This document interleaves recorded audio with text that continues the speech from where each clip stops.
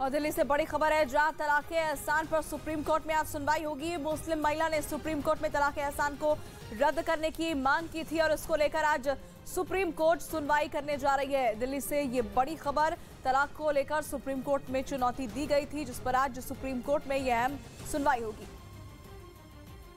रूस से जारी जंग के बीच यूक्रेन की सेना ने एक वीडियो जारी किया, जिसमें उसके सैनिक पश्चिमी देशों से मिले हथियारों की ट्रेनिंग लेते दिखाई दिए।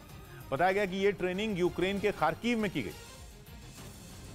जहाँ यूक्रेन के जवान रूस के नकली सैन्य ठिकाने बनाकर उन पर मोटर से हमले करते नज़र आए।